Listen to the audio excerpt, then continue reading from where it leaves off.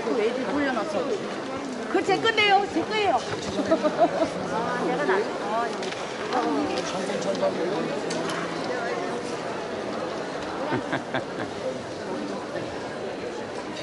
아, 주차권은 차 판매하는 곳에 가면 주차권을 주실 겁니다.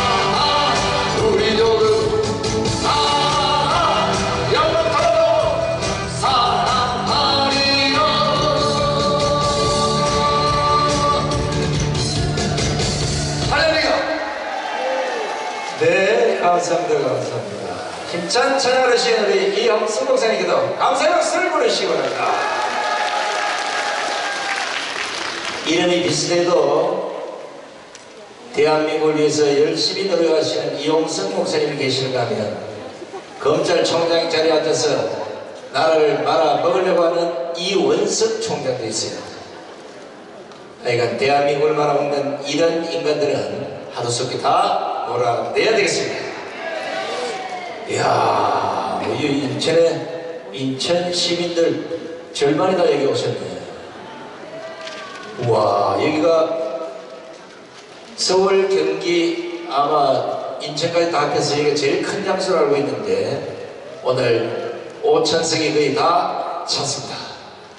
밖에 아직도 카드 말 생활거나 자유말 카드만 못 들어오신 분이 아직 더 많아요. 자, 그래서 시간 관계상 일단 행사를 진행하도록 하겠습니다. 지금부터 1월 10일 자유통일을 위한 인천 자유마을 국민대회를 시작하겠습니다!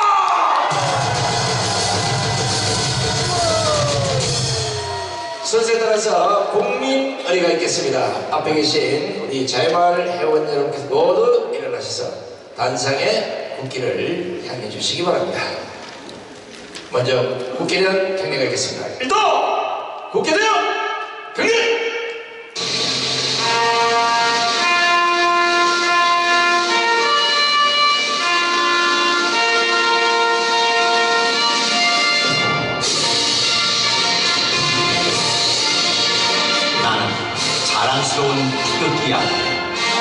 자유롭고 정의로운 대한민국의 무궁한 영광을 위하여 충성을 다할 것을 굳게 다짐합니다.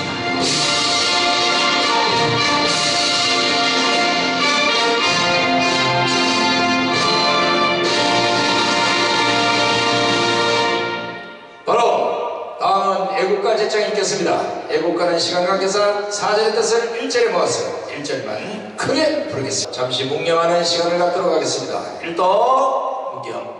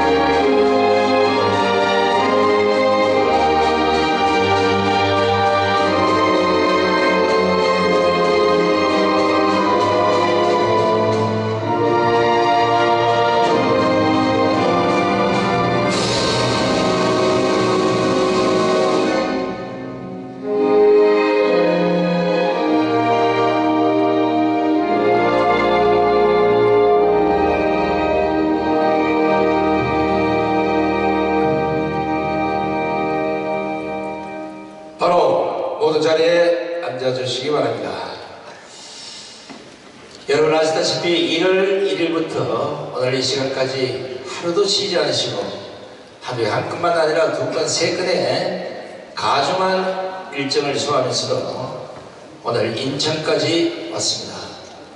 오늘 나오시는 연사분들 목소리 잘 들어보시고 던지는 메시지가 이제는 그냥 듣고 흘러가는 이런 것이 아니라 마음에 결정된 대로 또 명령 받은 대로 오늘은 이제 그 결정체를 보여줄 시간이 됐다고 봅니다. 한 분 한 분 소개할 때마다 여러분들의 뜨거운 함성과 뜨거운 성원을 부탁드리겠습니다. 자, 가장 먼저 나오실 분을 소개하겠습니다. 누구보다도 일찌감치 내년 총선은 선거가 아니라 전쟁이라고 선포하시고 더 이상 대한민국의 공산을 이대로 두고 볼 수는 없다. 반드시 우리 손으로 국민 혁명을 이루자고 선포하신 이 시대 영적 지도자 1800만 국민을 강화한 이승만 강조로 불러모신 이 시대 지도자 1천만 자유마을 내년 총선 우파 200석을 반드시 성공시켜서 주사파 종북자파를 쓸어내고 정치 대개혁을 통해서 예수한국 복음통일을 이루어서 반드시 자랑스러운 대한민국을 만들고 말겠다고 선포하신 우리의 선지자. 5,300만 국민이여 일어나라! 850만 해야 덮어 일어나라! 국민혁명의 예수여 한기총 대표장 되신 정강훈 목사님을 길 박수로 모시겠습니다!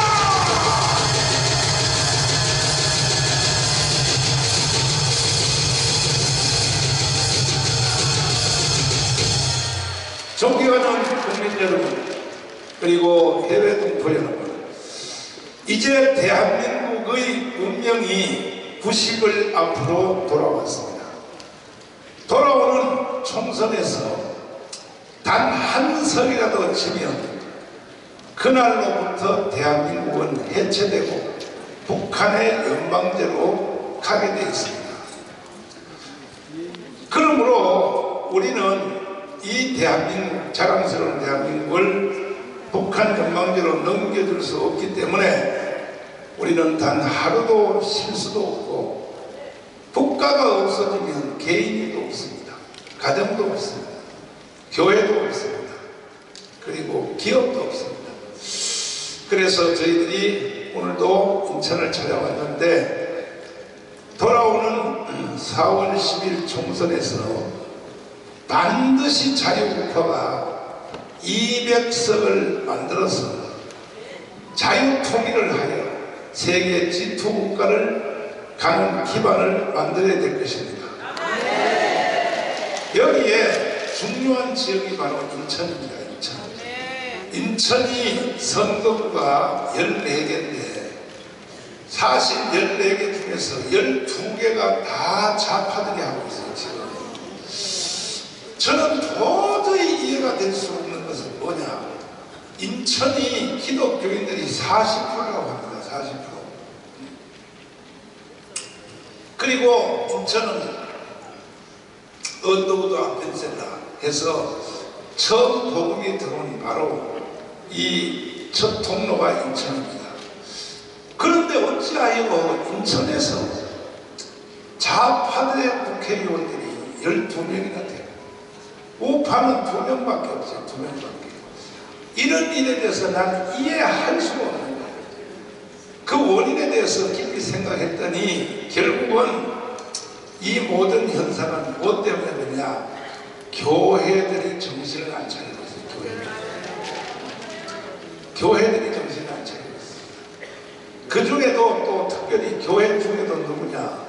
목사님들하고 장로님들이 정신을 안 차리고 있어요. 이렇게 간다고 대한민국이 계속 갈줄 착각하고 있는 거예요. 저는요, 이 시대의 선지자입니다, 선지자.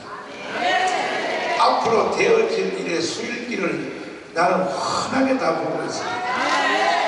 그러므로 이제 인천은 정신을 바짝 차리고 14개, 15개 전체를 다 자유우파가 차지할 수 있도록 다 인천을 일어서야 될 것입니다. 그러니까 이러한 것에 대해서 구체적으로 내용을 알면 교회들이 일어나게 돼 있죠. 아니 어떠한 교회가 어떤 목사님이 어떤 그 장로님들이 공산주의를 좋아하는 사람들이 어디 있겠습니까? 그러나 착각하기를 이렇게 말해요. 뭐라고 뭐라고 생각하느냐? 에이 설마 무슨 뭐 네가 좌파를 찍는다고 해서 뭐 좌파가 국회의원 된다고 해서 뭐 대한민국이 없어지겠냐? 설마 설마 그렇게 생각하고 있거든요. 우리가 겪어봤잖아요. 언제? 문재인 때 겪어봤잖아요. 문재인이가 대통령 딱 되자마자 본색이 딱 드러났습니다. 본색이. 대한민국을 없애고 북한과 연방제로 편입하려고 하는 의도가 강렬하게 나타났습니다. 그때 우리가 광화문 광장에 모여서 비가 오나 그 다음 뭐예요? 하늘의 하나님께 부르짖었고 개인적으로 말하면 제가 가문 운동에 앞장서서 나오지 않았으면요 오늘날 대한민국은 이미 겁니다. 동의하십니까?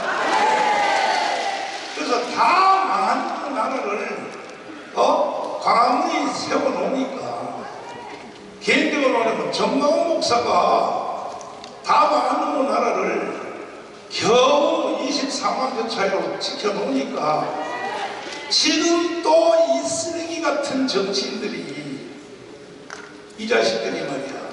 특별히 국민의힘 정당.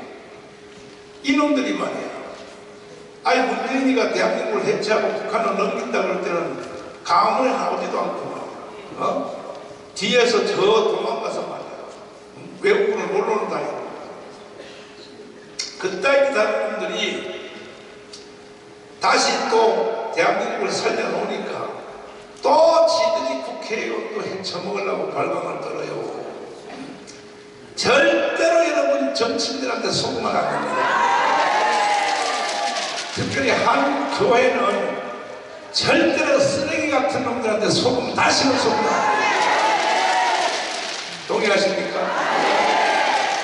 그래서 이제 우리가 반드시 200석을 완성해서 예수왕국 복음 통일을 이루어내는데 인천이 앞장서 주시기를 바랍니다. 조선일보 유봉일 그 노평론가가 늘 글을 쓰는데 뭐라고 씁니까? 저쪽 애들은 전쟁으로 나오는데 우리 국민의힘 정당은 정치놀이 하고 있다는 정치놀이. 저쪽은 전쟁을 하는데 더불어민주당은 전쟁으로 나오는데 전투로 나오는데 여기는 정치 정치 정치 노름하고 있다는 거야. 어? 한탄스러워서 그렇게 글을 쓰고 있지 않습니까? 그러니까 우리는 이제 저쪽은 전쟁으로 나오는데 국민의힘 정당을 믿을 수가 없어요. 이 사람들은 정치노래 나오기 때문에 우리 강원 자유우파 자유통일당은 혁명으로 나옵니다. 혁명. 혁명으로 나와서 완전히 지압을 해야 합니다. 저는 술기를 빨리 하는 사람입니다. 이런 일이 일어날 줄 나는 일찍 벌써 알았기 때문에 장학일 목사님, 장기동 목사님, 전주라 이 목사님들을 앞장 세워서 사전 준비를 했고 자유마을을 튼튼히 조직하고 있고. 그래서 자유마을이 지금 한 670만 명 정도 됐는데 빨리 천만 명을 완성해서 아예 쓰레기 같은 정치인들을 다 쳐내고 쟤들이 아예 포기할 수 있도록 우리가 전체가 힘을 합해서 자랑스러운 대한민국을 우리가 반드시 지켜내야 될 것입니다. 마지막으로 드릴 말씀 하나는 뭐냐? 지금 적들은 이게 전부 북한의 짓입니다. 북한의 짓입니다. 이 대한민국에서 일어나는 모든 현상은 다 북한의 지시에 따라 움직이는 겁니다. 지금 김건희 여사님은 특검을 한다고 그러는데 이게 이제 이따가 김학성 교수님 말씀하시겠습니다만은 이거는요 말 자체도 되지 않는 거예요. 아니 김건희 여사님이 뭐 주가를 조작했다. 결혼 전에 있었다며 결혼 전에 10년 전에 있었다며 10년 전에 시효도 다 지났어요. 설령 범죄했다고 해도 그리고 주가를 조작했으면 돈을 벌어야 될 거 아닙니까? 4천만 원 손해봤어요. 4천만 원. 근데 이걸 가지고 특검을 한다고 계속 지금 저쪽에 떠드는 것은 뭐냐? 국민들에게 완전히 김건희 특검하는 게 아니야. 윤석열을 탄핵하라고 하는 거야. 윤석열은 아무리 쑤셔도 검찰총장 출신이니까 틈이 없으니까 그 영부인을 계속 흠집내가지고 결국 마지막은 뭐냐? 윤석열을 다시 박근혜 탄핵해보니까 재미가 있거든. 예? 재미가 붙었어요. 그러나 에, 더불어민주당 자녀서 깨어나십시오. 가문이 있는 이상 절대로 특검 못합니다. 우리는 길거리를 지켜낼 것입니다. 헌법 위반이 헌법 위반. 아니 헌법을 위반하는 것들이 국회의원들이 그렇게 하면 돼요. 근데 이게 다 북한의 지신입니다. 모든 게 북한의 지신이잖아. 그래서 결국은 선거할 때 지들이 이백석을 해가지고 북한한테로 대한민국을 갖다 바치게 하려고 이렇게 공작을 하는 겁니다. 앞으로 나오시는 연사님들 통하여 여러분 잘 깨달으시고 인천이 먼저 들고 일어나야. 인천이여 일어나! 자, 디테일한 내용을 헌법학자 제1호 김학성 교수님 모시고 왜 이게 위헌인가 말도 안 되는 장면을 왜 하는지 예, 이거는 내가 예, 설명할 실력이 안 돼가지고 이건 최고의 전문가를 모시고. 근데 교수님 오늘은 어떻게 좀 메모지를 안 가져오셨는데? 메모지. 예전에 그 대전에서 제가 그 한번 발표한 적이 있었죠 무슨? 아, 그저 PPT를요. 그러니까 제가 목사님 같은 거 목사님 실력이 안 돼서 예. 맨입으로는 잘 못하고 아니 그래서 나는 메모지를 안 가지고 나오시기에 어떻게 안 가져오시나 이게 기적이다 기적 근데 이제 듣고 보니까 한 번 해본 것은 다 안다 이 말이죠 다 아는데요. 지금 또 새로운 걸 좀 추가해서 인천에 왔으니까 전 똑같은 재방송을 안 하거든요. 아 제가 그러니까 대전에서 한 것을 제가 업데이트 해가지고 네. 또 추가해서 오늘 좀 말씀 좀 드리려고 합니다. 지금 현재 전 국민이 네, 정치인들한테 사기를 당합니다 그렇습니다. 예, 예. 대표적인 현재 상태가 뭐냐 김건희 특검법이 맞습니다. 예, 이건 사기잖아요 사기 그렇습니다. 왜 사기인지를 예, 여기 있는 모든 분들한테 명쾌하게 설명해 주셔서 네, 네. 일단 내가 점심 먹으면서 여기 다 테이블마다 다니면서 이게 왜, 왜 미연인지 물어가지고 만약에 모르는 놈이 있으면은 교수님한테 책임을 묻어요. 교수님이 강의를 잘못한 걸로 생각하고. 자, 박수로 모시겠습니다. 이 전 목사님이 전방위적으로 어, 이저 지식이 다 넓으신데 그래도 좀 이렇게 빠진 게 있어서 너무 다행입니다. 예. 먹고 살 수 있기 때문에 너무 감사해요. 예.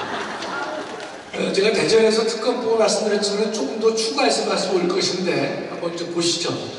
제가 김건희 특검법을 왜 위헌이라고 하는지 논거를 제가 분명히 다시 한번 제시하도록 하겠습니다. 다음을 보시죠. 예, 이제 첫째로 명칭 자체도 이게 문제가 있는 것이 여러분 보통 특검법은 예, 우리가 이 사- 특정한 범죄 혐의자를 중심으로 하거든요. 그 최순실이다 하면 최순실 특검법. 지난번에 그 드루킹 같은 경우 사람 이름이죠. 예, 드루킹 특검법 이렇게 하는데 예, 김건희 특검법은 김건희가 범죄 혐의의 주체가 되지 않습니다. 그 도이치 모토스가 예, 주체가 되고 있기 때문에 명칭을 도이치 모토스 특검이라고 해야 되는데 한다면 그러나 정치적으로 활용하기 위해서 이제 중요한 부분은 이제 되고 안 되면 김건희 여사 이름을 들어 넣어야만 국민들을 호도할 수 있고 또 총선용으로도 써먹을 수 있기 때문에 이런 이제 행태를 벌이고 있는 것인데 매우 참 부당하시죠. 다음이요. 에, 지금 제가 이게 특검법을 어, 대전서 한 것 같지가 않은데 대전서 한 내용이 아닌 것 같아요. 다시 한번 보세요. 예. 에, 지금 이 특검법에서 특별 검사를 제가 좀 말씀드릴 터인데 대한민국에는 헌법에 특별 검사라는 것이 없습니다. 그 중요한 특별 검사가 없어요. 에, 없으면 이걸 했어요. 예. 특별 검사가 왜 없는가 하면 특별 검사는 우리 헌법에 없고 미국의 제도를 우리나라가 도입한 것입니다. 미국 제도를 도입한 것이에요. 그럼 대한민국에서는 모든 범죄는 누가 하느냐? 검사가 하는 겁니다. 검사가. 그러니까 특별검사와 대칭되니까 일반이란 말을 붙여야 옳겠지만은 통, 통속으로 검사라고 하지 일반 검사라는 걸 안 한단 말이죠. 그 특별 검사는 왜 이것이 도입되는가? 미국에서 이게 만들어진 것인데 이겁니다. 권력형 비리 혐의에 대해서 다시 한번 꼭 이걸 외워두셔야 돼요. 권력형 비리 혐의에 대해서 검사가 수사를 안 했거나 못한 경우 이런 경우가 여러분 예상되죠? 비리가 어, 이 권력형 비리였었는데 권력형 높은 사람이 하기 때문에 검사가 수사를 안 할 수도 있고 또 못 할 수도 있단 말이죠. 그런 경우에 일정 상황이 바뀌었을 경우에 사법 정의를 실현하기 위해서는 일반 검사가 못했으니까 특별한 검사를 만들어서 잘못된 것을 밝혀보자. 그것이 이제 우리가 특별검사의 의의가 된 것입니다. 그 파일을 보면요. 그 김건희 특, 어, 특검하고 김정숙 특검으로 하는 게 있을 거예요. 네. 그러니까 우리 대한민국은 특별검사가 없는데 에, 도입이 가능하다는 것을 꼭 머리에 두- 어, 두실 것이 권력형 비리 혐의가 전제가 되고 두 번째 그 사건을 검사가 수사를 안 했거나 못한 경우에 한해서만 특별검사가 허용되는 것이죠.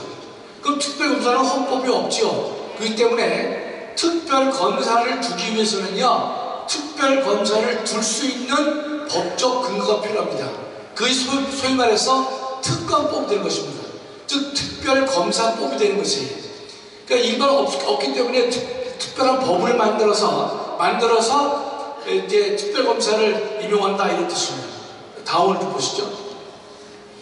그리고 김건희 여사의 그 특검 문제는 윤석열 대통령 취임 10년 전 사건입니다. 더 정확히 말씀드리면 윤석열 대통령이 어, 저, 이 김건희 여사와 에, 결혼하기 2년 전 사건입니다.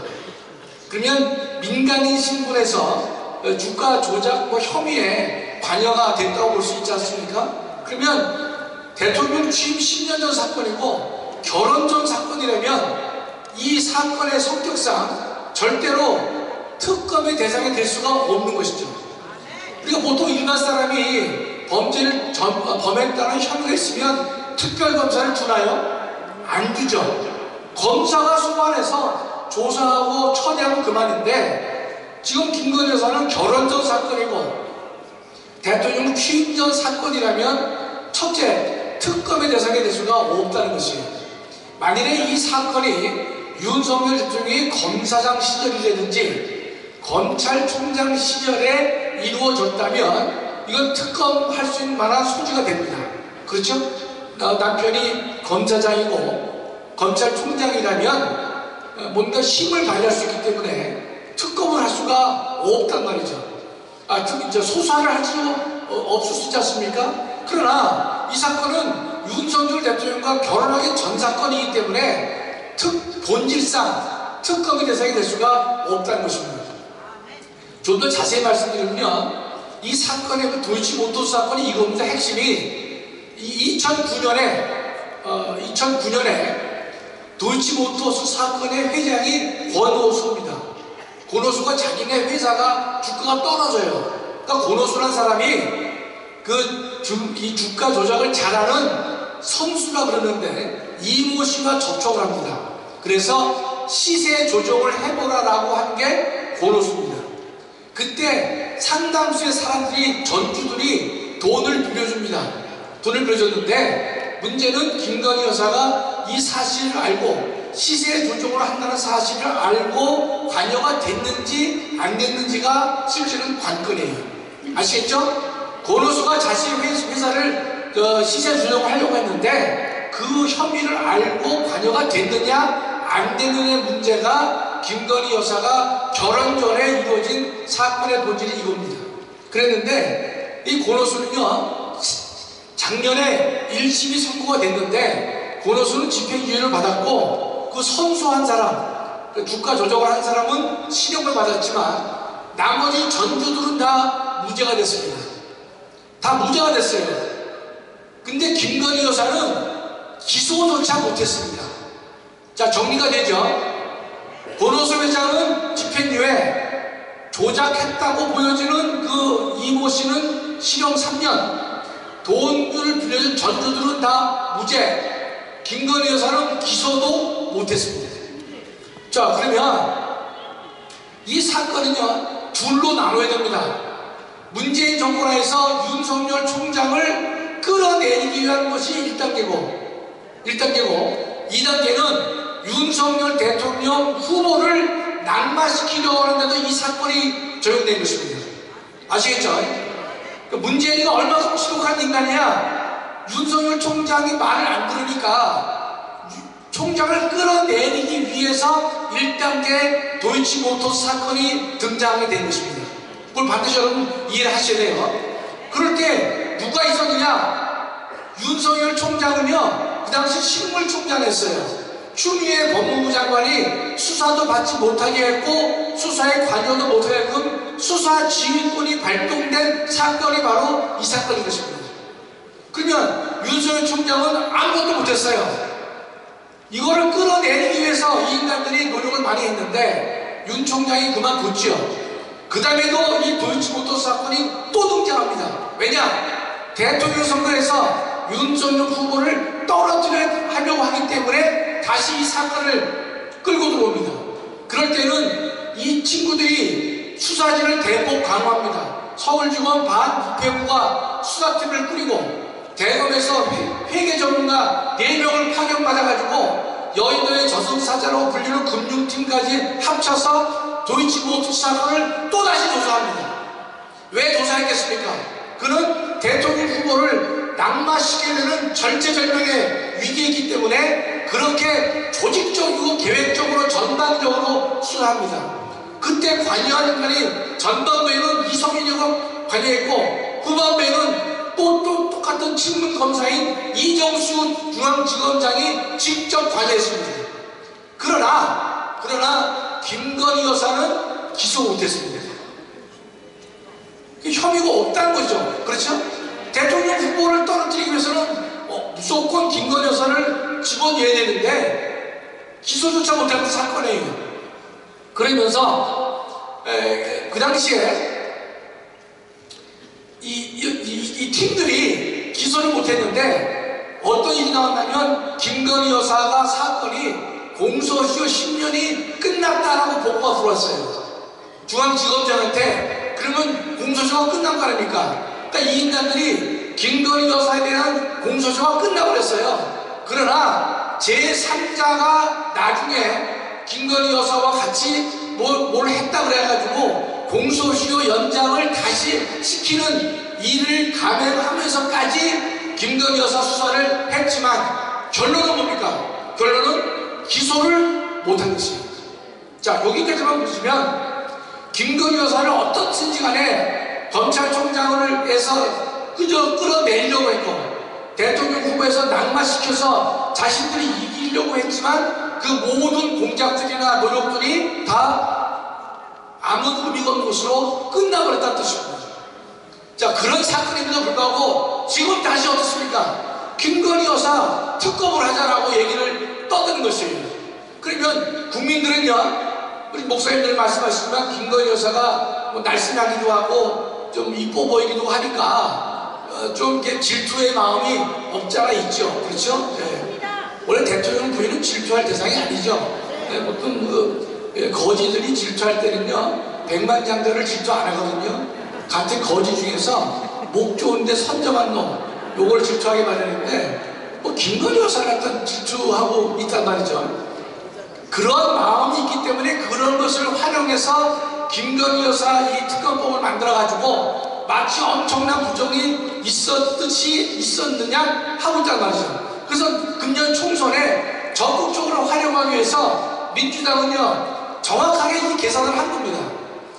그 신속 처리 안건이라 해서 패스트 트랙인데 보통은 365일 정도 걸려요. 근데 이 인간들이 위원회에서 발의를 하게 되면 8개월이면 됩니다. 4월 말에 발의합니다. 근데 몇 석이 필요하느냐? 패스트 트랙이기 때문에 180석이 필요해요. 민주당 단독으로는 다 끌어모아도 180이 안 됩니다. 그래서 정의당을 끌어들일 것입니다. 정의당이 기꺼이 도와줬을 것입니다. 그렇죠? 위원회에서 발의했기 때문에 정확하게 12월 말에 본회의에 올라가도록 된 것입니다. 자, 그렇다면 그들이 계산을 안 했겠습니까? 12월 말에 특검법이 통과되면 분명히 윤석열 대통령이 거부권을 행사할 것이다. 그렇다면 할 수, 거부권 행사에 대해서 국민들의 여론을 호도해가지고 총선에서 승리를 쟁취하는 중요한 무기로 쓰자 말이죠. 예전에 했던 김대업 사건과 유사한 글을 만들어서 끌고 가자고 하는 것이 이들의 계획되고 어, 다음에 준비된 전략이 될 것입니다. 여기에 대해서 제가 국민의힘에 대해서 가장 내가 안타까운 것은 뭐냐 사건의 본질이 이름에도 불구하고 예, 국민의힘에서는 이런 주장이 나와요. 아, 김건희 여사는 총선 후에 하자 하는데 총선 후에도 할 수가 없는 사건이에요. 왜 그렇습니까? 핵심이 권력형 비리 의혹이 없는 사건이에요. 검사가 수사를 안 했거나 못한 게 아니라 윤석열 총장 시절에 윤석열 대통령 후보 시절에 철저하게 수사를 다 하고 기소를 하지 못한 사건을 다시 끌어들여가지고 이걸 한다고 하는 것이니까 우리가 누구 편을 들어서가 아니라 들어서가 아니라 김건희 여사 특검법은 대상이 될 수 없는 사건을 마치 대상이 되는 것이냐 해서 끌어들이고 있다 이런 뜻입니다. 이해가 되시죠? 그러니까 핵심이 뭐냐? 권력형 비리 의혹이 전제가 되는데 그것이 없는 사건이라는 뜻이에요. 다음이요. 그뭐 제가 말씀을 드렸죠? 네, 다음이요. 그리고 우리가 김정수 이 건을 한번 보자고요. 김정수 건을. 우리가 어거지로 하는 거 아닙니다. 에, 지금 이, 이 김정숙이가 과도한 해외 순방을 한다는 혐의가 있죠. 그건 왜 이런 일을 했겠는가? 두 번째는 옷을 사 입었는데 자기 돈으로 사 입었느냐? 나라의 특활비로 사 입었느냐? 이게 중대한 의문이고 밝혀져야 할 사건인데 이건 김정수이가 대통령 남편이 대통령 시절에 이런 일이 일어났기 때문에 그 사람이 반드시 죄를 범했다고 단정할 수는 없지만 범했을 것이라고 하는 의혹이 분명히 있는 것인데 이거는 권력형 비리의 비리 의혹의 전형에 해당하는 것입니다. 김정수, 저, 저, 저, 김건희 여사는 근본적으로 다른 뜻입니다. 다음이요. 자, 빠른 혐의를 볼게요. 빠른 속도로. 이 김정수가 외국에 나간 게 48회인데 뭐 몇 번 나간지 중요하지 않지만 역대 연구 중에서 압도적으로 1위를 한 겁니다. 다음에 첫 번째 여러분 잘 아는 인도입니다. 인도를 김정수가 방문을 하는데 대통령이 인도를 방문할 때 껴서 하루 정도 관광하는 거뭐 그럼 있을 수도 있다고 좀 보여줘요. 예, 그러나 이 김정수기가 대통령 전용기를 타고 혼자 인도를 방문했습니다. 그때 청와대가 뭐라 했냐면 인도 정부가 요청했다라고 말을 하고 있어요. 예, 그러나 에, 다시 들어가 보니까 인도 정부는 처음에 누구를 초청했느냐 문체부 장관만 초청을 한 겁니다. 소요 예산이 2,600만 원인데 갑자기 김정수가 대통령 전용기를 타고 가자고 했기 때문에 3억 7천 15배가 늘어났습니다. 그렇다면 이걸 보면 적법하게 이루어졌는지 아니면 부당하게 이루어졌는지 건전한 상식 있는 사람이라면 의문을 갖는 것이 당연한 것이죠. 이게 밝혀졌나요? 밝혀질 수가 없었죠. 대표적인 권력형 비리가 되는 것이에요. 비리 의혹 아닙니까? 그러니까 우리가 누구를 특검해야 되는 것이에요? 김정수를 특검해야죠. 우리 편, 남의 편 따지는 게 아니라 학문적으로 보더라도 권력형 비리 의혹이 있잖아요. 다음은 아르헨티나를 이 사람이 저 문재인이가 회의에 참석합니다. 통상 아르헨티나를 가려면 한국에서는요 LA로 갔다가 거기서 비행기를 갈아타고 아, 남, 남미로 내려가는 것이 통상의 예고 역대 대통령도 그렇게 했습니다. 그런데 이 어, 문재인이 어떻게 하면 체코로 간다 체코. 체코를 들렸다가 다시 이제 어디를 들릴지 모르겠는데 뭐 대통령 전용기니까 에, 뭐 마음대로 갈 수 있다고 하더라도 체코를 들렸는데 당시에 방문한 체코에는 대통령이 우- 부재에서 부재. 대통령이 안 계셨단 말이죠. 그러나 뭐라 그랬느냐? 대통령도 없는데 거기를 왜 갔느냐 물으니까 청와대 답변은 원전 세일즈를 위해서 들렸다는 거예요 이 인간이 원전 하러 갑니까? 탈원전을 주장한 인간인데 무슨 내근데 원전 세일즈자 말이죠 프라하성 관람하고 이렇게 했는데 우리가 궁금하지 않습니까? 왜 비행기를 미국 갔다가 아래로 가지 않고 체코를 들렸느냐의 그 일정 변경에 대해서 어떤 뭐가 잘못했느냐? 궁금하잖아요 국민들은요 이게 권력형 비리 의혹의 전형적인 예입니다 다음이요. 다음이요. 뭐 세계 지도인데 뭐 참고로 하시면 우리나라에서는 미국으로 갔다가 내려가는 것이 옳지 체코를 갔다가 가는 것은 상식 바뀌다 이렇습니다. 다음이요. 이 김정수 여사가 퇴임 4개월 전인데 이집트를 또 방문합니다. 그 문재인도 같이 가지 않았어요. 문재인이 중동 방문할 즈음에 비밀리에 피라미드 가서 구경 옵니다. 어, 마지막 졸업여행 같은 거를 이 인간이 하고 왔단 말이죠. 청와대는 뭐라느냐? 관광 홍보차 갔다는 거예요. 이 관광 홍보차 갔으면 비공개로 비밀리에 가야 됩니까? 버젓이 공개적으로 모든 사람들이 알리면서 가는 게 홍보에 도움이 될 것인데 앞뒤가 맞지 않는 얘기를 하고 있단 말이죠. 어쩌면 이 피라미드 여행이 김정숙의 마지막 버틀리스트 졸업 여행을 한 것이라고 저는 생각하고 있습니다. 다음에 옷값인데 뭐 이 사람이 옷을 뭐 200불 입었건 300불 입었건 우리가 뭐 크게 뭐 비난을 할 수 있어도 위복은 아니란 말이죠. 그렇죠? 그런데 에, 시민단체가 특할비로 이것을 사용했다는 의혹이기 때문에 정보 공개 소송을 했습니다. 그런데 다행히도 1심에서 법원에서 공개하라고 판결을 내렸습니다. 그러면 공개를 하는 게 옳겠죠. 그렇지 않습니까?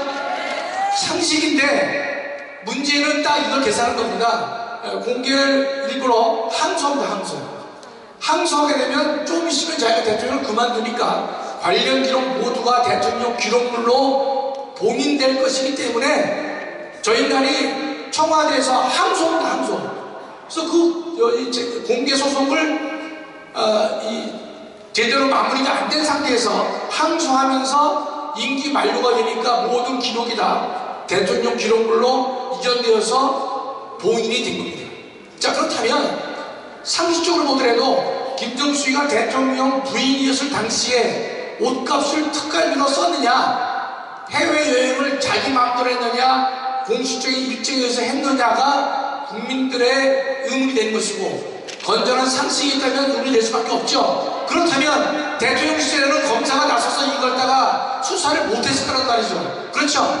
대표적인 권력형 비리 의혹이 되는 것이고 검사가 수사를 안 한 사건이기 때문에 김정숙에 대해서는 옷값과 해외여행에 대해서는 특검을 반드시 실시해야 대한민국의 정의가 살 것입니다. 여러분 제 논리에 다 들어보셨을 경우에 제가 어, 이 보수파에 속하기 때문에 김건희 여사를 아주 맹목적으로 편을 들고 미운 인간이기 때문에 김정숙을 무조건 뜯, 헐뜯고 깎아내리는 논리 정리가 결코 아닌 것입니다. 그렇지 않습니까? 자 정리를 하면 김건희 여사 건은요 대통령 시절에 한 것이 아니고 이미 공소시효도 완료가 됐지만 제3자하고 관련시켜서 하면 연장을 하고 있는 것이고 특별 검사의 대상이 될 수 없음에도 불구하고 이 사람들이 저 이 정치적 목적으로 하고 있다는 말이죠. 지금 권한쟁의를 한다고 하는데 권한쟁의는 여러분 여러분께 설명을 드리려면 시간이 많이 걸려요. 그, 그 기본적인 법적 지식이 필요한데 제가 볼 때는 대통령과 국회가 이거 문제로 권한쟁의가 100% 각하됩니다. 그 소송에서 각하가 있고 기각이 있는데 기각은 이유가 없다는 거예요. 각하는 대상이 안 된다는 겁니다. 만약에 민주당에서는 권한쟁의 한다고 떠들지만 만약에 헌법재판소가 각하 결정을 내리면 민주당은 망신에 망신을 당합니다. 아시겠죠? 그래서 얘들이 권한쟁의를 한다고 하면서 내부적으로는 야 하지 말자 그런 의견이 있는 것은 냈는데 국민들을 다 속였는데 냈는데 헌재가 신속하게 각하 결정을 내려주면 대상도 안 되는데 니네가 정적으로 이용했다는 말을 듣기 때문에 조금 더 멈칫하고 있습니다. 그러나 실제로 뭐 걔들은 어떻게 할지 제가 전혀 예측 불가하기 때문에 모르겠지만 권한쟁의는 대상도 안될 정도로 하더라도요 500일 걸리고 500일 통상 평균 500일 걸려요. 그럼 다 끝나는 거 아닙니까? 그래서 난 쟤들이 권한쟁의 한다는 말이 뭐냐? 이해가 안 되는 거예요. 각하되면 개방식이요. 저 받아들인다 하더라도 결론 나는데 통상 500일 정도 걸리는 300일에서 500일 걸린단 말이죠. 아무런 실익이 없는 거예요. 그럼에도 마침 뭐 고난 뭐 문제가 있어서 다툴 수 있다고 하느냐 떠드는데 헌법적으로 고난쟁의는 절대 성립 자체가 안 되는 것입니다. 제가 헌법 교수의 이름을 걸고 말씀드리지만 고난쟁의는 대상 자체가 안 된다는 뜻이에요. 자 그러면 우리가 목사님들 말씀하셨죠? 200석 말씀하셨잖아요 200석 200석 하게 되면 헌법을 고칠 수가 있고 그런데 국회의원을 제명시킬 수가 있는데 우리 대통령 기록, 기록관에 보관되어 있는 문서를요 200명만 찬성하면 언제나 더 열람할 수 있습니다 지금 검사가 대통령 기록물에 대한 압수수색 신청한 게 있거든요. 특정한 사건과 연관되어서 기록물을 열람할 수 있어요. 그러려면 관할 고등법원 어, 법원장의 허가가 필요합니다. 어렵지요. 사건을 전전하는 것이죠. 그러나 200성만 되면요 사건과 연루되지 않고 연관되지 않고 법원장의 허가도 필요 없이 자유로 열람할 수가 있는 것입니다. 저는 그래서 반드시 200석을 해서 뭐 미운 놈 짧은 것도 중요하지만 나는 대통령 기록물을 열람해서 옷값과 뭐 등등에 대해서 USB를 모든 이 문재인의 폐악에 대해서 헌정성 파괴를 반드시 열람의 고기를 간절히 소망합니다. 자 결론 짓겠습니다.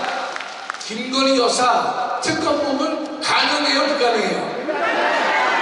불가능합니다. 법리적으로 불가능한 것이에요. 그런데 국민의힘에서는 그런 권력적 비리해야 하기 때문에 안 된다는 말을 안 하고 자꾸 상대방만 톱니 없다고 하는데 아마 그것은 우리 자유통일당에는 어, 아, 이 말을 해야 되나?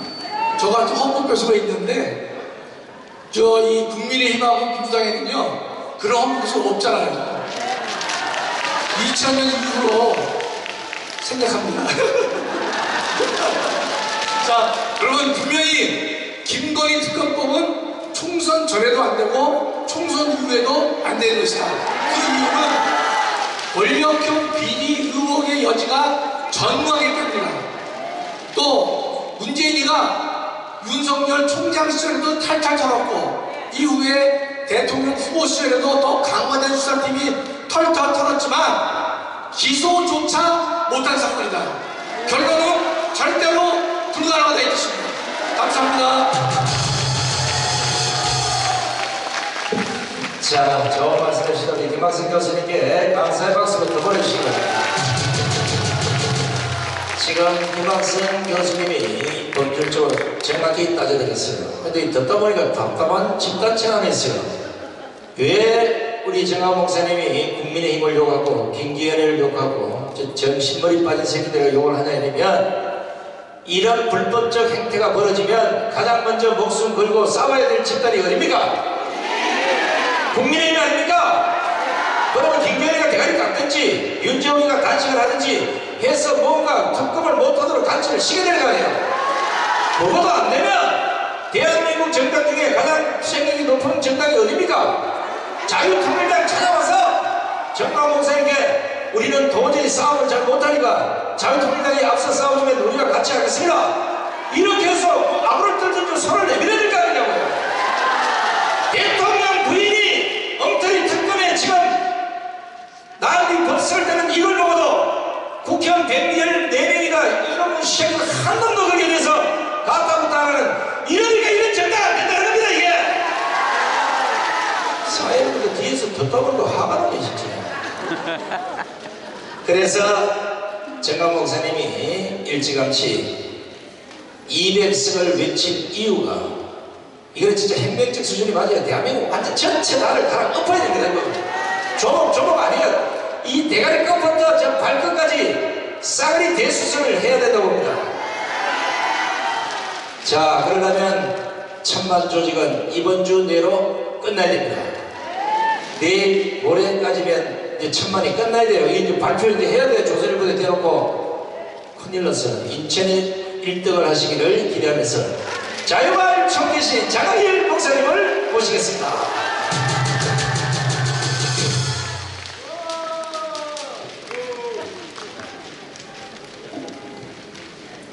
고향에 왔습니다. 반갑습니다.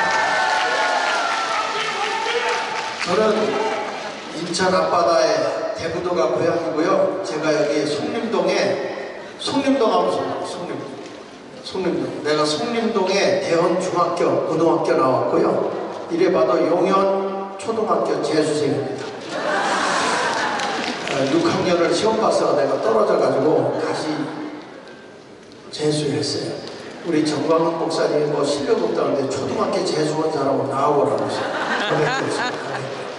네, 이렇게 예, 와서 지금 했는데 우리 김학성 장로님께서 또 귀한 걸 해주셨습니다. 여러분 나는 요즘에 이런 노래가 계속 내 귀에서 쟁쟁쟁쟁쟁쟁 거려요. 자 여러분 잘 아는 동요 있죠? 자 우리 한번 띄워줘 보세요. 같이 한번 읽어보겠습니다. 시작. 두고 봐, 두고 봐. 헌집 줄게 새집 따오고. 두고 봐, 두고 봐. 물 위로 오너라. 너희 집 지어줄게. 두고 봐, 두고 봐. 너희 집에 불났다. 세고랑 가지고 똘레 똘레 오너라. 난 이게 어떻게 되냐면 자유통일당, 자유통일당. 우리 국민이 헌집 줄게 새집 좀 타오. 자유통일당, 자유통일당. 우리가 열심히 가문 땅에 물 위로 올 테니 너는 나의 집좀 지어줘. 자유통일당, 자유통일당. 너희 집에 불났다.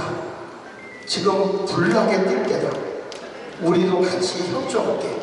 서고랑 가지고 똘레 똘레 오너라. 우리 같이 한번 대한민국 뒤집어 놓자. 난 이게요. 이게 손대머리에서 떠나지를 않아.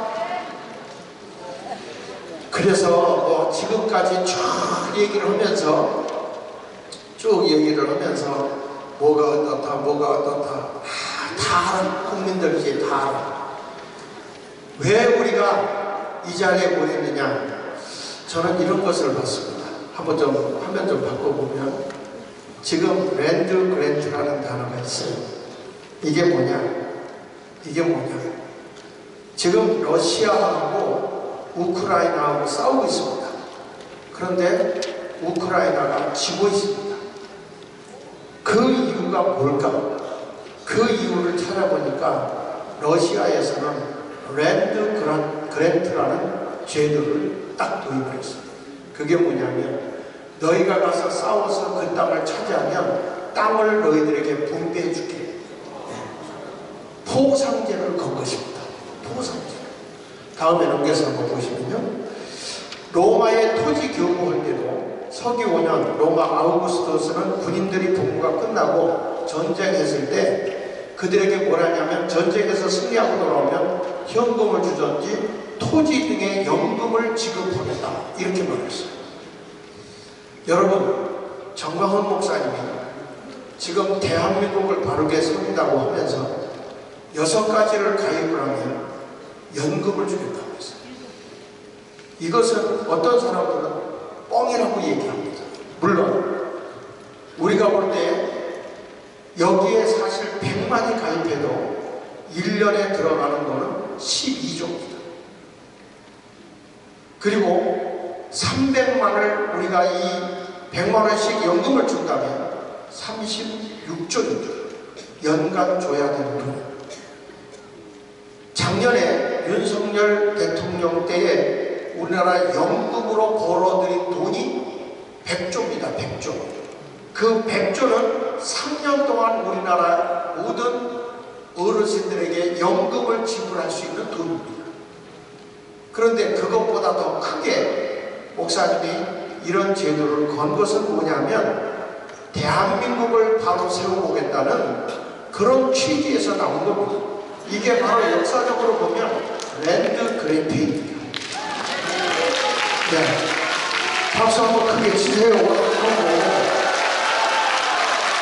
돈이 없는 것도 없잖아요. 자유마을 가입해라. 어? 그 다음에 자유, 그 자유통일당에 가입해라. 그리고 또 통신사 이동해라. 자유연금몰, 광화문몰 거기에 가입해라. 그 다음에 자유일보 구입해라. 그 다음에 거기다가 또 하나 얘기한다면 그 뭐죠? 예? 성교카드, 성교카드 해라. 그래서 이것도 지금 제가 조금 아까 좀 통화를 했는데 뭐 다른 데도 하지 말고 새마을금고도 이익이 많으니까 새마을금고도 한번 이거 좀 해줘, 해줘라 그래서 지금 중앙본부 연락, 연락하고 있어 여러분 왜 내가 이런 얘기를 하냐 지금 전 목사님이 한 거는 그냥 내지는 얘기가 아니고 역사성이 있는 얘기다 이게 대한민국을 살려내는 일이다 이거예요. 이것을 이루어낼 수 있는 데가 어디입니까? 자유통일당밖에 없다고요. 무슨 국민의힘의 비전이 있습니까? 더불어민주당을 밀어줘서 무슨 비전이 있습니까?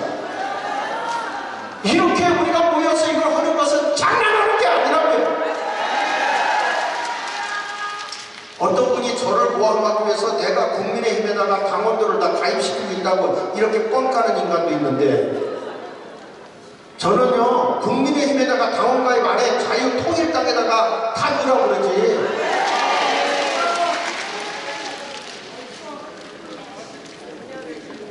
모함을 하려면 똑바로 보고 모함을 하라고 여러분 미국도 토지 교부를 했습니다. 여기 보면 미국 독립전쟁 18, 19세기에 미국의 독립전쟁 당시에 참전 용사들에게 보수 대신에 뭘 줬느냐? 토지를 지급했어. 토지. 그러니까 싸움에서 이기는 거예요. 보상이 있기 때문에. 여러분 우리나라 이승만 대통령이 토지 개혁을 했을 때 그때 토지 개혁할 때 양반 노비들의 신분제를 철폐하고 하나 넘기세요. 넘기세요. 그리고 본건적 토지 소유제도 전부 다 양반들의 주지들이 다 땅- 땅을 갖고 있었거든요. 6.25가 일어나기 전에 우리 이승만 대통령이 토지 개혁을 했어요. 농사 짓는 사람에게 땅을 나눠주기 시작했어요. 열심히 너희가 일하니까 이 땅을 너희 거다 나눠줬어요. 소유권을 줬어요. 그것만 한 거 아닙니다. 소유제를 줬을 뿐만 아니라 하나 더 넘겨보면 그러면 땅 뺏긴 양반들은 뭐냐? 그때 일본으로부터 뺏은 기업을 넘겨준 거예요. 너희가 기업을 운영한다 그러면 기업을 너희들에게 운영할 수 있는 권한을 주겠다. 여러분 이래가지고 넘겨서 보시면 우리나라 기린 맥주가 어? 오비 맥주가 된 거고 조선 비츠코시가 신세계 백화점이 된 거고 성경 방직의 SK가 된 거고 조선 다이아가 한국 타이아 된 거고 문혜의 양조장이 삼성 상해가 된 거고 지금 삼성이 됐고 조선화학공판이 하나가 된 거고 이런 식으로 해서 땅을 준 사람들이 다 뺏겼다 한 게 아니라 그만큼 보상을 했다고. 그래서 이승만 대통령이 탁월한 거예요 여러분. 그런데 이러한 것을 전 목사님이 딱 제시를 했을 때 사람들이 지금도 의심을 해요. 그뭐 전 목사님이 제안을 했는데 왜 나한테 항의하냐고 잠을 못 자겠어 잠을 못 자겠어 진짜 죽은 겁니까? 아니 잘못 이해하는 게 뭐냐면요. 회원 가입만 하면 주는 줄 알아. 적어도 100만 원 하려면 내가 500명을 가입시켜야 되는 거예요. 이 6대 가입을 다 시켜야 주는 거예요. 그러나 천만이 됐을 때는 다 줄 수 있다는 거야. 지금 아직 아- 안 됐어. 6대 가입이 그것도 내가 이렇게 쭉 보니까 그냥 이게 어느 건 들고 어느 건 안 들고 이렇게 돼 있더라고요. 이게 다 들어있으면 되는 거라니까 이게 돼요. 보세요. 러시아하고 다음에 넘겨서 보면 러시아하고 우크라이나 전쟁이 있을 때 서방의 우크라이나 그 지원에도 서방에서 지원해도 우크라이나가 지고 있다고요.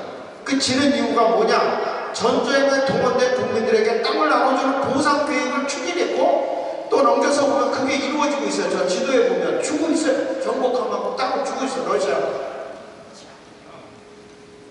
오늘 내가 우리 장로님하고 같이 오면서 왜 이게 있는 줄 아냐 그랬더니 아뭐 뭐 군소 뭐자 뭐 미국에서 도와주지 않고 뭐 이래서 그렇겠죠. 그- 그래서 우크라이나가 지고 있는 거죠. 그래 그래. 그러면 왜 올라만 공산화가 되고 다 지원해 주는 거예요. 이게요 사람들의 의식이 똑바로 배겨야 되고 그 보상제가 이루어져야 된다고 말이에요. 다음에 넘겨서 보면 토지 교부의 기대 효과, 국민들의 자산 형성에 기여했어요. 러시아는 지금도 아 내가 여기서 싸워 이기면 이게 내 땅 되는데 생명 걸고 싸우죠. 아니 우리 어렸을 때 여러분 그 땅 따먹게 해보셨어 안 해보셨어? 가위바위보 짝깨비 시작해가지고 그원 그려놓고 이렇게 땅 손바닥 올려갖고 땅 따먹게 했잖아요 여자분들. 그러면 주인들이 가서 야 이놈아 시끄러! 그리고 발도 집어넣으면 없어지는 건데.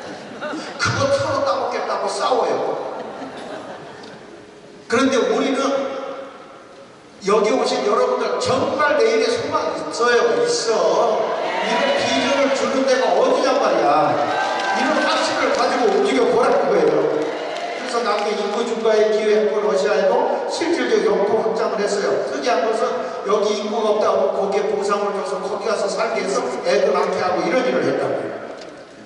다음에 넘겨서 보시면 그래서 국가의 애국심을 하면서 전쟁의 이익은 정부 사업에 가담한 일부 특권층의 목이라고 생각했던 사람들이 아니야 나가서 싸우면 다 받을 수 있어. 그러니까 이게 된다고.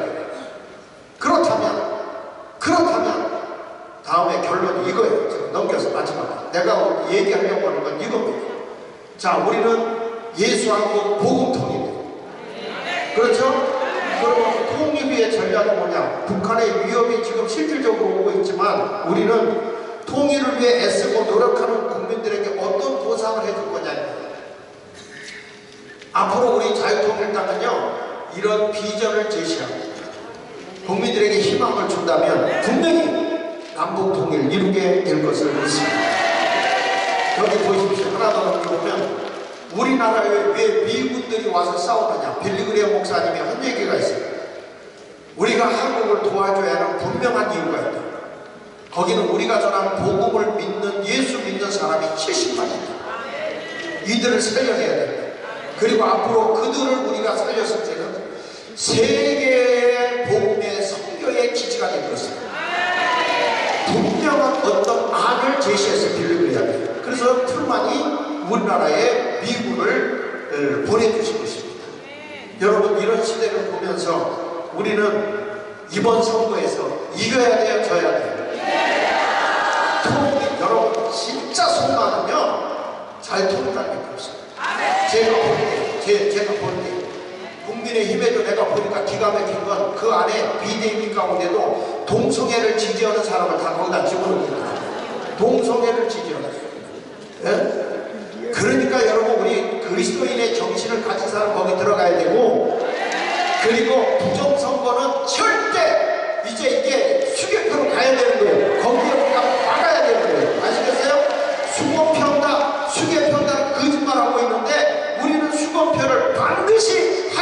될 것이고요. 그리고 이 조작은요 마지막에 잔머리 못쓰겠는데 통계로 얼마든지 조직을 한다고요. 통계로 쭉쭉 한 번만 넘겨주실래요? 자 이렇게 해가지고 또 넘겨주세요. 여러분 여기 보면 얘들이 휴게표인데 다른 나라들 보기에 또 넘겨주세요. 자 이런 데 보면 선관위에서 얼마든지 이게 투개표를 가지고 조작이 가능해요. 부정선거 가능한 게 밝혀졌어요. 더 이상 이 몸으로 가면 안 됩니다 넘겨서 보십시오 넘겨서 보십시오 자 데이터도 조작이 가능한 게 다 나왔어요 이게 네? 이런 거에 우리가 더 이상 넘어가면 안 돼. 또 넘겨주세요. 그래서 선관위 잔머리에 우리가 넘어가면 돼, 안 돼요? 절대 안 돼요. 절대 안 돼요. 우리가 깨어나야 돼. 또 넘겨서 여기 보면 개표, 전자개표식 개표, 개수기, 심사부, 수고표하겠다 그랬는데 요거를요, 개수기 전에 심사부, 수고표를 먼저 하겠다고 이렇게 바꾸는 걸 가지고 수개표 한다고 있어요. 여러분 절대 우리는 수도표가 아니라 제일 먼저 수개표를 먼저 이게 수개표 네, 또 넘겨서 보세요. 이제는 속지 맙시다. 말장난에 우리 안 속아요. 다 이런 거 알려주는 거예요. 또 넘겨서 보세요. 그래서 선관위는 또 해킹 구멍이 다 뚫리는 거 봤어요. 막 조작을 해보면 우리가 은행 같은 것도 몇 번 비밀번호 틀리면은 해- 이게 안 되거든요. 근데 여기는 막 틀려서 여러 번에도 구멍이 뚫려 이런 이런 이런 게 선거 관리위예요. 또 넘겨서 보세요. 취급자 변경에도 접근 가능하고 수차례 인증 실패해도 계속 접속 가능하고 또 넘겨보세요. 그냥 전면 수개표해라. 넘겨서 보세요. 자, 독일 프랑스도요. 이 전제 개표하다가 해킹 위험이 있는 걸 알아가지고 어떻게 했냐. 선진국인 독일 프랑스도 수개표로 돌아갔어요. 수개표로 돌아갔어요. 자, 넘겨보세요. 근데 이게 선진국에도 일으켰다고. 왜? 아, 컴퓨터로 하니까 해킹이 가능하더라. 그러니까 이건 안 되잖아요. 또 넘겨서 보세요. 전쟁협회 불리기, 중앙서고 다 없애버려야 된다. 더군다나 다른 나라에서 한국 거 가져가니까 한국 거는 너무 심절해. 이라크도 물고 갔다 개표에다 대통령 바꿔줬는데 그게 걸려가는 거 대통령 뭐가 잘렸잖아. 그러니까 여러분 휴게표가 이게 이게 전자 전자 계산으로 오는 게 이게 잘못되는 거예요. 또 넘겨서 보세요. 그 성과에 잔머리 쓰지 말고 수렵해라 2,900도 전면수가 이거 이번 선거는 수렵해로 가야 됩니다.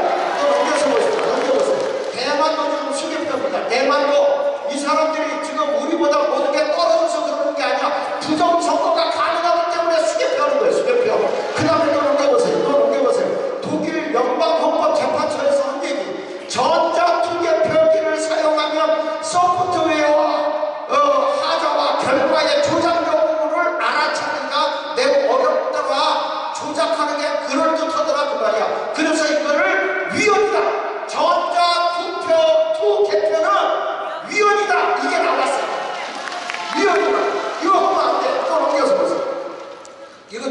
나왔던 거예요, 김진이.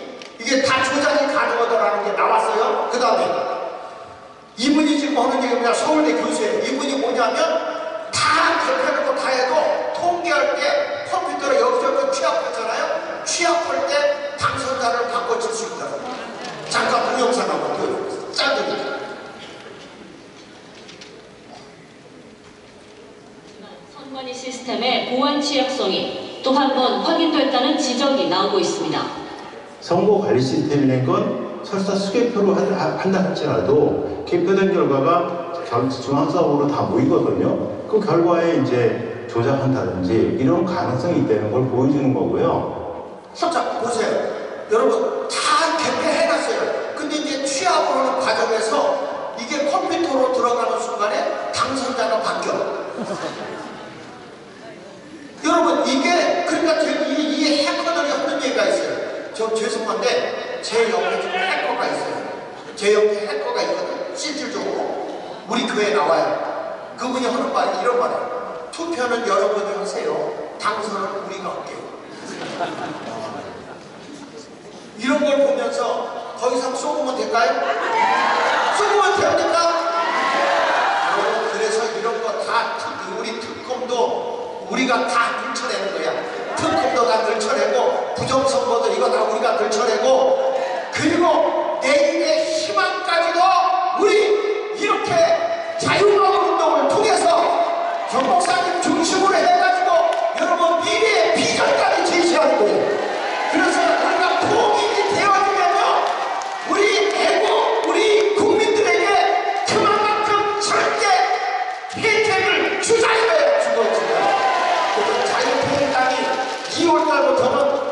비전을 멋지게 국민에게 제시하도록 노력하겠습니다 감사합니다 네, 감사합니다. 우리 열렬도시 장희 목사님도 큰 박수를 보내시기 바랍니다. 아, 4월 10일까지 우리는 혁명을 하기 위해서 마음속에 단 한 톨의 부정한 싹도 갖고 있어서는 안 됩니다. 부정이란 단어를 아예 싹 없애야 돼요.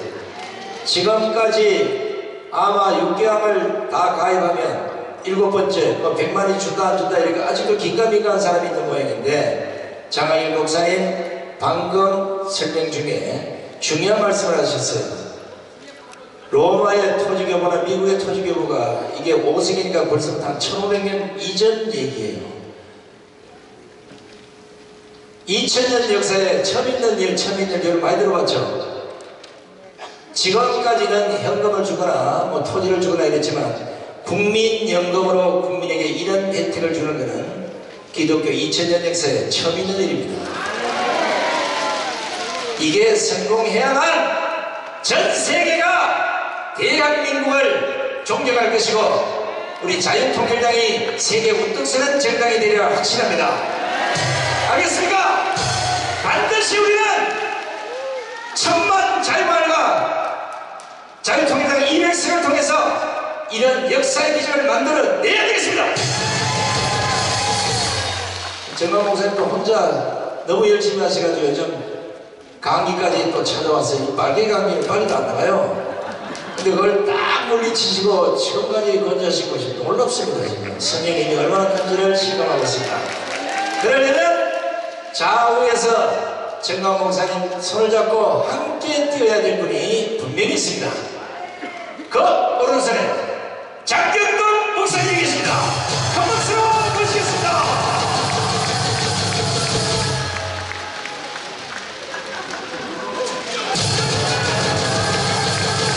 할렐루야 하나님은 이쪽이 봐도 하나님이고 저쪽이 봐도 하나님 아멘. 똑같아요 하나님이라는 단어를 전 세계에서 쓸 때 한국같이 좋은 단어가 없어. 불림도 아니고 생림도 아니고 하나님 어, 영어로 표현해도 귀신도 하나님도 표현하기가 애매해요 그래서 하나님을 대문자로 표현을 해요. 자 하나님은 똑같은데 사람이 달라요. 엘리 때 하나님은 하나님이 맥을 못 써요. 풍지박살나요. 심지어는 당신의 법궤까지 빼앗겨요 이 하나님의 자존심이 내가 아는 역사 속에 제일 모욕을 당하지 않았을까? 똑같은데 족구는 블레셋이었고 사무엘이 딱 나와요. 아작을 내보내. 블레셋에 박살 내보내. 한 사람이 바뀌니까 이렇게 바뀌는 거예요. 자, 우리는 믿음이 좋으면 좋아요. 저는 항상 네 박자로 해요. 믿음이 좋고 좋으면 1등. 믿음이 안 좋은 게 좋으면 2등이고, 믿음이 좋은 게 안 좋으면 3등이고, 믿음이 안 좋은 게 안 좋으면 4등인데, 하나님만 믿고 있으면 엘리 때는 왜 졌냐? 그 말이요. 전동한 하나님이면 무조건 이겨야지. 아니에요. 사람의 역할이 이렇게 중요하다. 사람의 역할이 이렇게 중요하다. 월남이 공산화될 때 실제적으로 공산주의 사상을 가진 사람은 많지 않았어요. 이 사람들이 그냥 얼마나 착각든지 그 좋은 월남을 공산화시켜버렸어요. 그런 비율로 쳤으면요, 대한민국은 벌써 공산화 됐어야 돼요. 그런데 왜 안 되냐? 월남은 우리하고 다른 게 뭐냐? 월남은 그냥 사람이고 우리는 크리스찬이 1200만이 다 껴들죠. 아니 솔직히요 대한민국에 교회 없었으면요. 교회 없었으면 이미 내가 볼 때 6.25 때 벌써 끝났어요 6.25 때. 예. 6.25 때 끝날 때니까. 교회 때문에 아까 했잖아요. 한국에는 70만의 크리스찬이 있다. 크리스찬은 거의 형제지 않냐? 같은 주안의 형제니까 구해야 되고 살려야 되지 않겠냐 그 학문의 영향력이 우리를 이렇게 나라를 지켰고 공산화 되어가는 걸 막고 있었단 말이에요. 그러면 역으로 생각할 때 북한에서 볼 때 제일 고약한 무리가 어디까? 교회란 말이에요, 교회. 그래서 한국교회 폐쇄법을 국회에 발의를 하는 지경이 왔는데도 도대체 나는 목사님들이 아는 건지 모르는 건지 어떻게 이분들을 교회에 모셔다가 인사를 시키냐고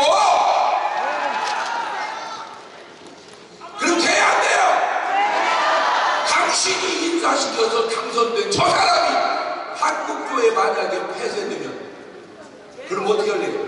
아이고 다 그만두고 뭐 그냥 불신자로 돌아가지 뭐 너 목사 맞아? 너 크리스천 맞아? 자 몇 안 되는 사람 가지고도 공산화를 시킨다면 되돌려 봅시다. 우리를 우습게 알아? 우리를 우습게 알아? 노아 한 명이 순종하니까 전체 역사에 그런 천재는 없어요. 산 꼭대기를 능가하는 비가 그렇게 온 적은 없어. 사 죽을 때 노아는 그래도 다 구원해낸 줄로 믿습니다. 모세 한 명이면 애굽의 그 최강의 나라에서 자기 민족을 주례고 베는데 넉넉한 줄로 믿습니다. 요셉 한 명이면 7년, 9년, 7년, 6년 그 어마어마한 애굽의 총리로 들어가서 다 해결하는데 넉넉한 줄로 믿습니다. 여호수아 한 명이면 그냥 여리고선 무너뜨리고 가나 들어가는데 아무 문제 없는 줄로 믿습니다. 바울 한 사람이면 무슨 바울이 비행기 타고 다녔어 무슨 KTX를 탔어 뭔 그냥 걸어 다니면서도 겨우 배 타고 다니면서도 전 세계 보호만을 이뤘다면 야 하나님이 쓰시는 사람 한 명만 있어도 된다. 그런데 저는 되돌려서 임진왜란 때 우리나라가 일본을 이긴 거는 우리나라는 백이 배가 12척이고 저쪽은 300척이 넘었거든요. 에, 그런데 그걸 어떻게 이겼을까? 도저히 이길 수가 없으면 일반 상식으로는 그런데 그 단어 속에 하나가 있어. 임금이 순신아, 예! 저 외적을 물리칠 수 있겠느냐? 그때 이순신 장군이 한 답변 속에 한자 속에 해답이 보여. 전하! 신에게는 열두 척이나 있나이다. 열두 척이나 이, 이 말로 이긴 거야. 열두 척 밖에 있으면 졌어. 열두 척 밖에 있으면 졌다니까. 열두 척이나 이러면 이기는 거야. 할렐루야. 그것만 갖고 이겼을까? 아니야, 아니야, 아니야. 이순신 장군과 함께 목숨을 건 장병들이 있었을 거 아니요 그걸 뭐 이겼을까? 아니야 생각하는 사람 없어. 그냥 나 혼자 생각한 거야 그러니까 내 말이 맞을 수도 있고 틀릴 수도 있어. 내 말이 틀리면 집에는 집이대로 얘기해 날 거라고 하지 말고. 이 대한민국을 없애버리면 4, 500년 후에 저와 여러분이 없어지는 거예요. 하나님은 그걸 내가 보고 저와 여러분을 지키기 위해서 그 전쟁도 이기게 한 줄로 믿습니다. 왜, 왜, 왜 그러면 저와 여러분을 하나님은 구원하려고 이렇게? 간단합니다. 지금 제가 요즘에 계속 나라도 보고 세계를 보면서 느끼는 게 뭐냐? 지금 하나님이 위에서 지구를 이렇게 빙글빙글 돌아가니까 다 보시잖아? 지금 하나님 뜻대로 쓸만한 유일한 나라가 대한민국밖에.